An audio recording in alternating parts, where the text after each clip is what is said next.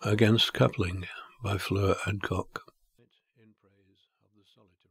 I write in praise of the solitary act, of not feeling a trespassing tongue forced into one's mouth, one's breath smothered, nipples crushed against the rib cage, and that metallic tingling in the chin set off by a certain odd nerve.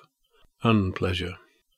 Just to avoid those eyes would help, such eyes as a young girl draws life from, listening to the vegetal rustle within her, as his gaze stirs polypal fronds in the obscure seabed of her body, and her own eyes blur.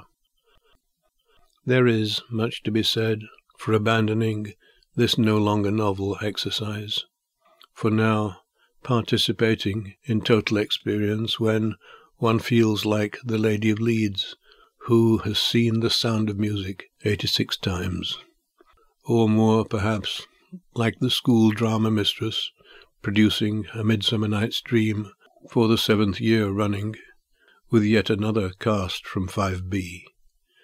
Pyramus and Thisbe are dead, but the hole in the wall can still be troublesome. I advise you, then, to embrace it without encumbrance. No need to set the scene dress up or undress, make speeches. Five minutes of solitude are enough. In the bath, or to fill the gap between the Sunday papers and lunch.